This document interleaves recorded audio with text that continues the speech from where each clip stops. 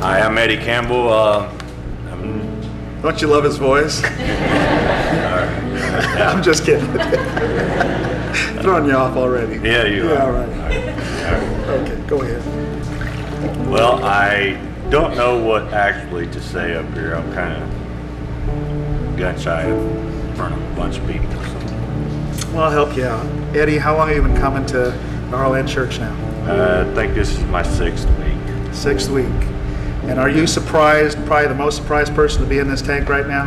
Very. I bet you if I'd have asked you two months ago if you'd be letting me baptize you in a tank, if I'd have met you on the street, you'd have thought I was nuts. Exactly.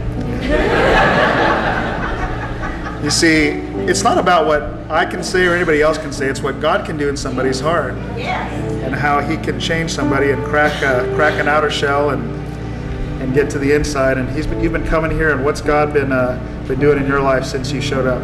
A lot. Um, I've I've learned a lot coming here to Heartland. Um, I look forward to coming every chance I can. How do you Um, feel when you walk in the door? Uh, just tremendously great.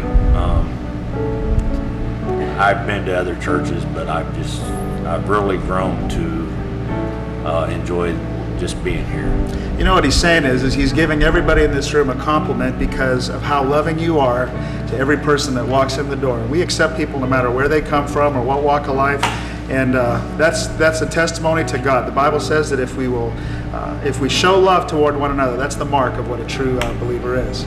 So Eddie's experienced that, and the Bible's come alive to him.